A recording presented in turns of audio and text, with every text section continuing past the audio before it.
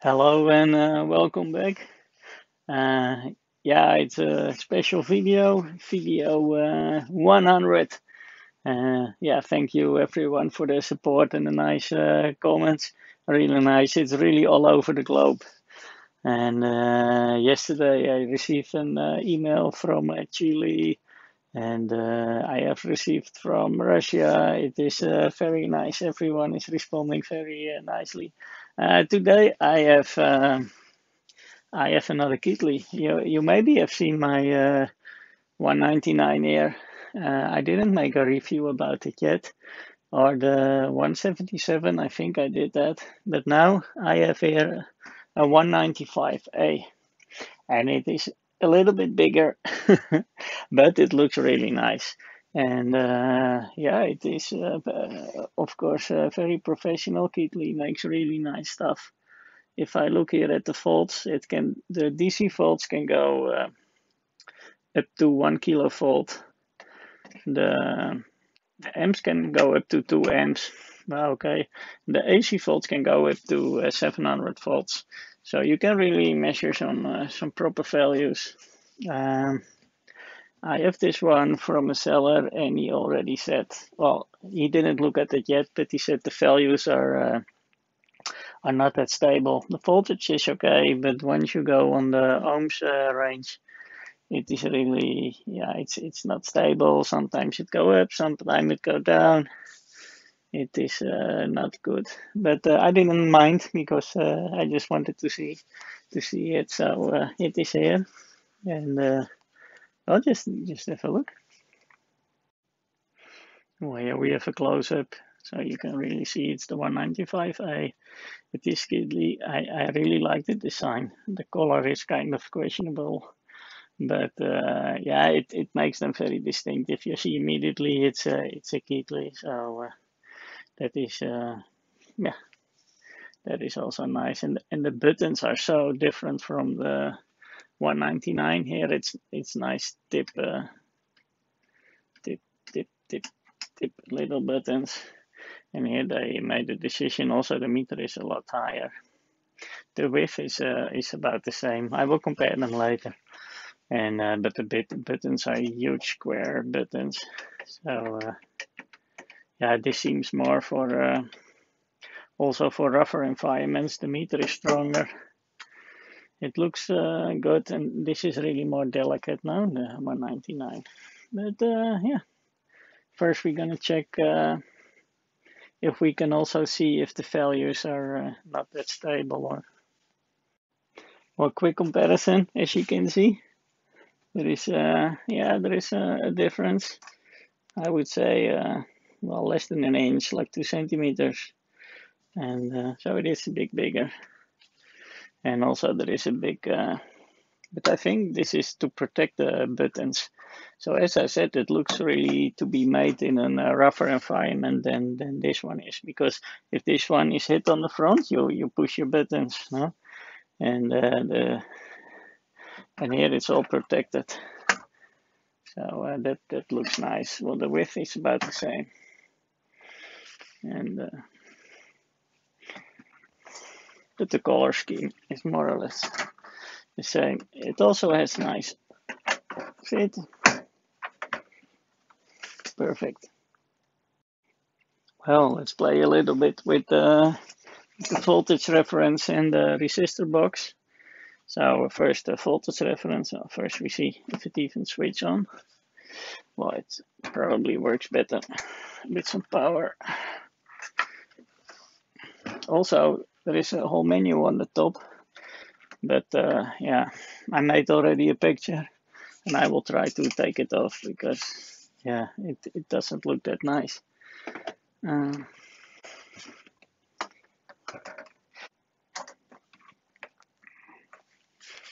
it does switch on. That is nice. Good start. And uh, you can see the display. That is good. It is uh, scanning already can put it in auto mode.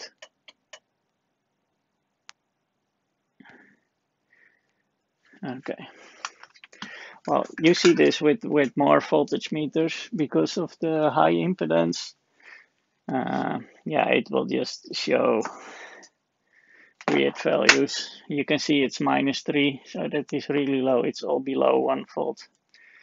And uh, usually when you just short the pins, it gets more stable. Well, as you can see, this is really 0 because it's 0.000 and then it's minus 3. So this is uh, 0. And I think you can even zero it. Then you say, okay, this is 0 but let's not, not do that. Let's leave it as it is. Um, we put the voltage reference. It is in auto ranging. Let's put the 2.5 volts. Well, that seems to be very stable to me. That is good. It is a little bit off, but it also needs to, to stabilize now. Yeah, we just switched it on.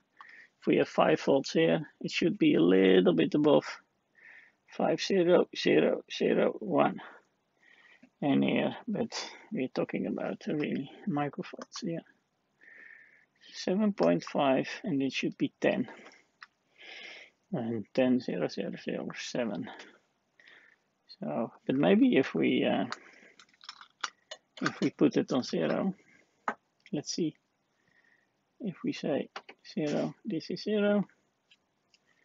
If it works like this, I have no clue. Is it then 10? Mm, doesn't. Okay, but this all seems very stable to me, so that is okay. Then we have the resistance box. Yes, overload, yes, I understand.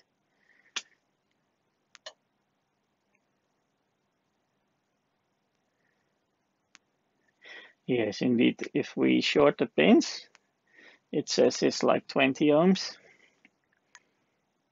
which of course is not the case. Can we do the zero trick here or no?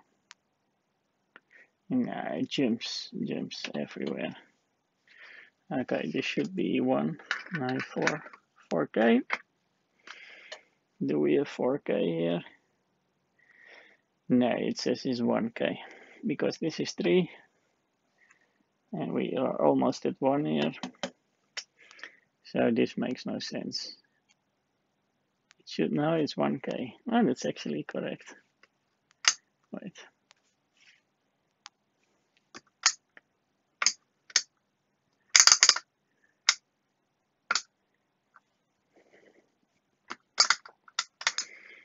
What if I put uh, 2K? Doesn't seem that, yeah, okay, now, now it should be 3, and now it says it's 1.8. This is 4K, and now it says 2.2. Uh, so, and it's moving.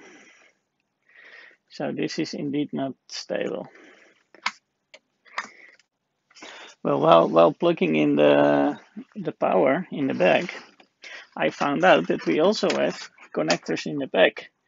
And maybe connectors in the back uh, do work, and then we need to switch the inputs over here in the back. Now we say rear connectors, and we have the sense and the ohms, so we put the ohms. Well, let's see if the rear works better. First we try the voltage.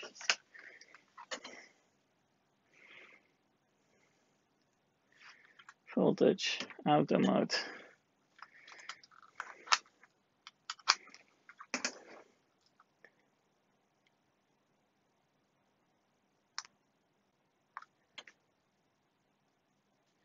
Perfect.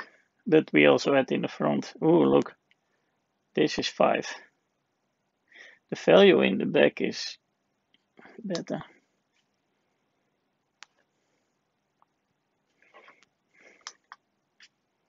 Yeah, look at that. Okay, let's go to the ohms. Then we go back to 1K. Uh, sorry, one, one and a little bit because this one is a little bit off, but ohms mode. Yes.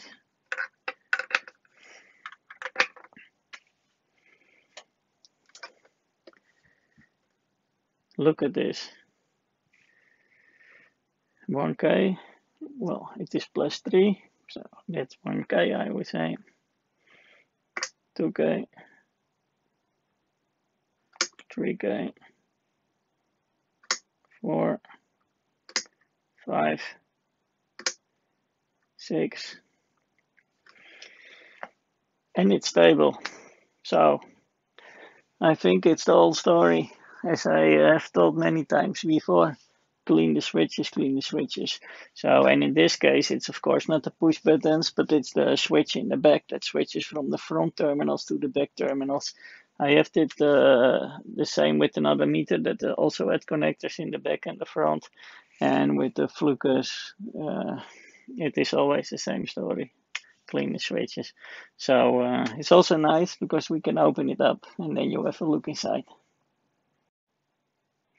Yeah, it, it really looks uh, strong, and uh, the same story is uh, is in the back. If you see here, it is all big screws. Also, again, protection. So if you have it like this, nothing gets broken, and uh, yeah, it's just well built. This is really different from the 199.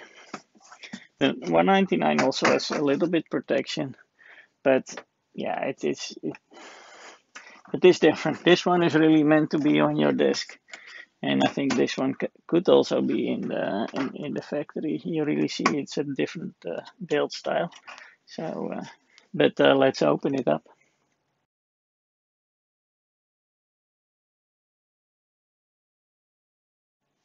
Okay, all all screws out from the back, and uh, we can just open it. Ah, look at this easy to clean.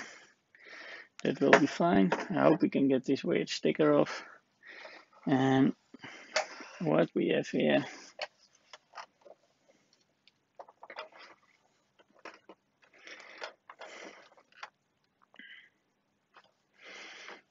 Well, we have here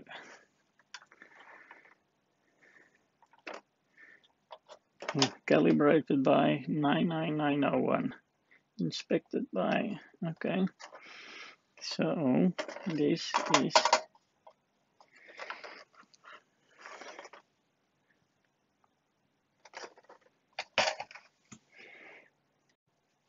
sorry I was a little bit distracted. Um, and and and as you can see the here is the switch in the back and it just switches from here to the switch to the front. So there is one long wire that goes from the terminals all the way to the front and really what I see here with one of the pins is the screw is not tight. It is just loose. I've never seen that before. So uh, I would just try to, maybe we don't even need to clean the switch, what we're gonna do anyway, but that would be very, very simple.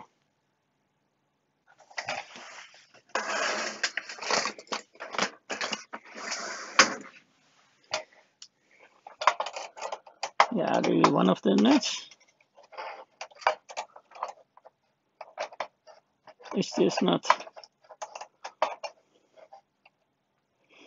and if you if you measure voltage, it doesn't matter too much because the high impedance. But yeah, if you want to measure ohms, then you start to put a little bit of current.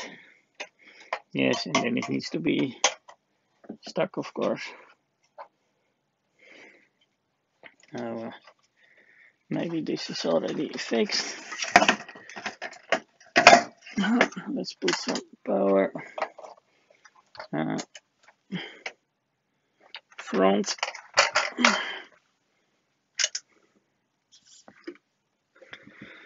Resistor box.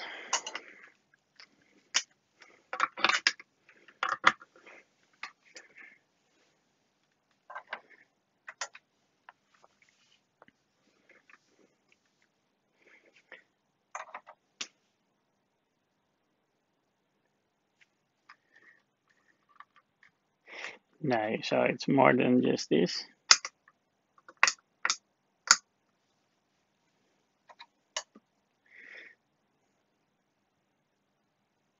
Yeah, 1000, 2000. Okay, we also need to clean the switches as well. But uh, of course, it doesn't. It doesn't help if the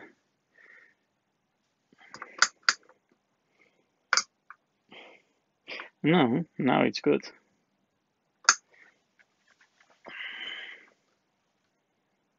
Three. Hmm. No. Okay.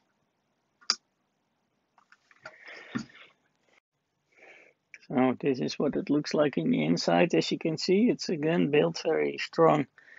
The transformer, they put extra bolts just to be sure. Uh, well, here we have the switch I talk about with the connectors. Well, you can see now how it switches. This is the gray, this is the center pin, this is the gray for the back. Here is the red center pin, red for the back. Well, we have that also with the black and the black for the back. And the, for the amps, we have here the white one, center pin, and the other white one that goes to the back. So that switch just switches from one from the front to the back. And then the, well, the connections, of course, go into the PCB. Here we have some uh, trigger stuff. This I don't know. This seems this one says ohm sense that goes in this block. So maybe this is, uh, yeah. Let's have a look. Um, I want to take off the front that I see there is a screw down here and a screw down here, but the screw down here is underneath the switch. So that means we probably need to take out the PCB first. Um, and I think I want to do that because I want to give it a proper clean. And also I wonder what is in this uh, box. And uh, yes, it's it says here ohms sense. So probably they are, yeah, they put the current through and they measure the voltage in this box. It's a little bit like a shunt, but then for for ohms measurements. So let's have a have a look in the in the magic box.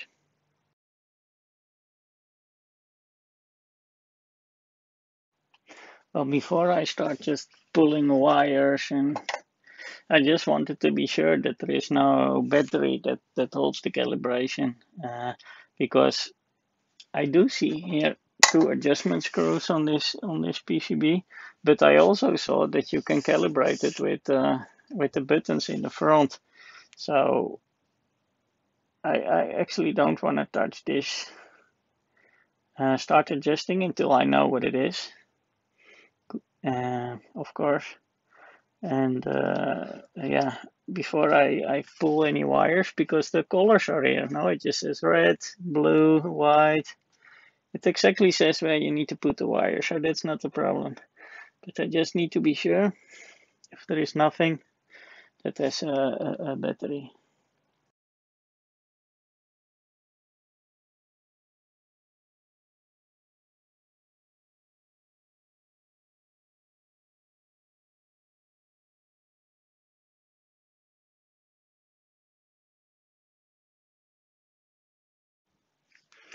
Now we took it all apart. Um, now we have a, a good uh, good access to the front. I will take out the display and then we can really clean it very well. Um, also here we have the, the switch that uh, we need to try to clean that it switches better back to front and in the end, if I cannot make that work, if somehow it doesn't work, I just change the back to the front because I'm not going to use the front. And as you can see, that's also easy to do. I try to zoom in a bit. Just a sec. Uh, I need to turn a little bit the camera. Sorry about it. So, if you, as you can see here, there is here a red for the front and a red for the back. A green for the front, green for the back, etc. Black and black. So, and yeah, I can just make the switch work the other way around just by changing the red, changing the green, changing the etc. And then uh, at least it works in the front. But of course, first I'm gonna try to just clean it. Usually that is just the solution. Okay, the main thing is now that we need to, everything looks now very nice. I clean a lot. But of course, the main objective was to to have proper measurements. So we need to clean the switch. Uh, I think that maybe if we tilt it a little bit backwards and uh, the cleaner can get in. Again, I'm using the WD-40. It's not the standard one. This is the specialist contact cleaner. And this usually works super good. And we just spray it in.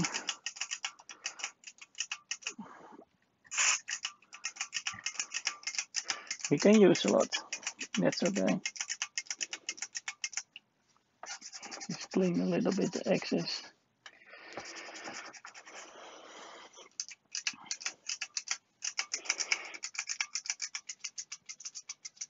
And because it is uh,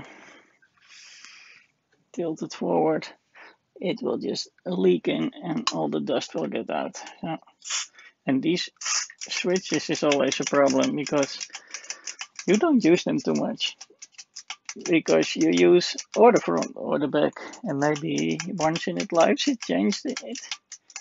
So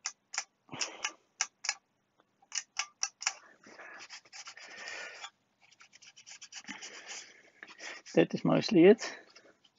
I will also see if all the screws in the back are tightened enough because that's also important to have a good connection.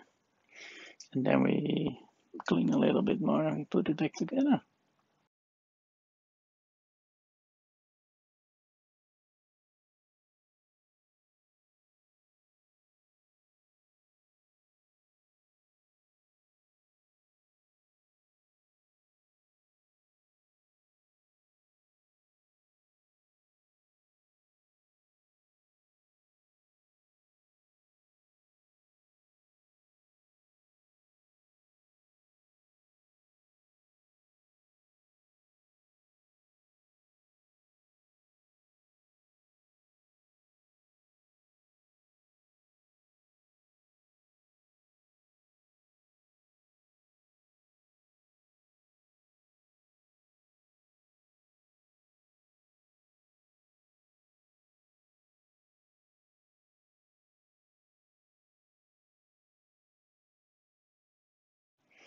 Okay, we did uh, clean the switch. Uh, we put it back together, but you can already see with the cleaning the display is a lot uh, more clear already. And uh, first we see the voltage, but that was never a problem. So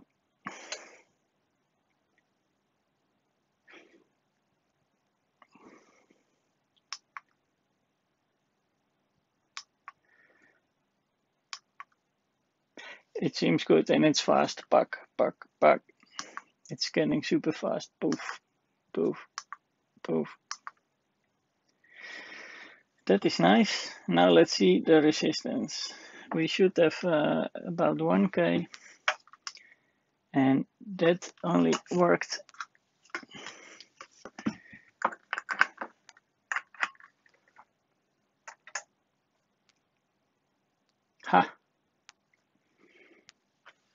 I would say this is 1K. cool. Two. Three.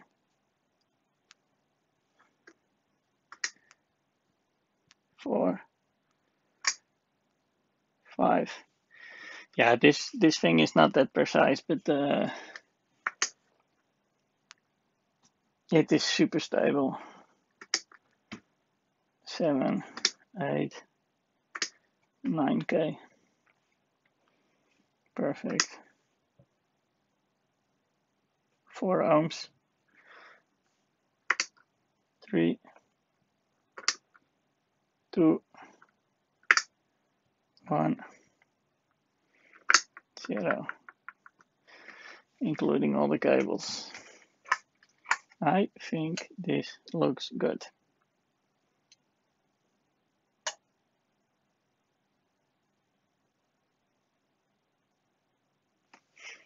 I think we fixed it. Okay, I uh, put it all back together again. In first, I tried with a lot of IPA alcohol that didn't work, and then at some point I just uh, washed it in the sink, and I took all the paper off, and uh, most of it uh, is gone. It has a little bit, you can see the color changed of all the air sunlight that was blocked, and the rest not. But uh, I think it looks better. And uh, I just did the calibration and it's actually quite simple. As you can see, it is now spot on because it should be 24989.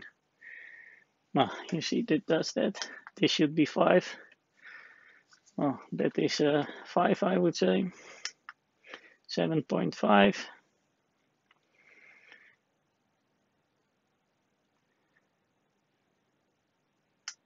and it should exactly be 10 and it should be 10 0 0 0 7 and that's actually exactly what it is. So how, how do you calibrate? I can show you. What you need to do is uh, you, you, you just input uh, a voltage that you know is correct. And I know it is uh, 10 uh, we can maybe, yeah, I, I just calibrate it on the highest uh, value. And that is in my case is 10 because it doesn't go any higher, the reference. Then you put it in program mode and that is program 5. So uh, I just put program 5. Then it says 19 volts. So I actually should feed in 19 volts. But I don't have that, so I just type, now I have 10 zero zero zero seven four but I can only push a seven. And then you push enter. Then it is going to put his 10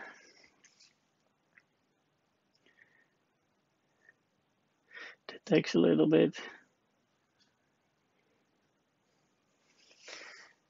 Okay and now to store it you need to do program one, program one, store, yes, and then it stores. And now it's calibrated. That's it. It is super, super simple. And of course, you want to do this with 19 volts also, but I, I don't have the 19 uh, volts. And uh, you can do the ohm, ohm range by just putting the ohm range and then uh, doing the same thing. But then you need a, a proper uh, resistor that you know the value is good. I not have that. And the same is for the current and the AC. You just put it on the setting you want to calibrate. Program 5. Type the value that it is. Program 1. Store, yes. Calibrate it. So simple. This machine is great. Yeah, and, and look. 5 volt is 5 volt or what? yeah, just a little look at the front. You can really see we improved it a lot. Zoom in a little bit. Yeah, the top is a pity, but there was so much glue. Zoom in a bit more. Look at this. It is a beauty.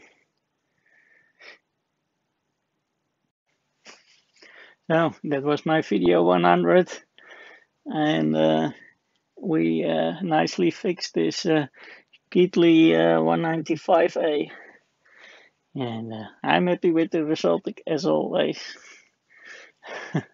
so uh, thank you for watching and I hope to see you next time.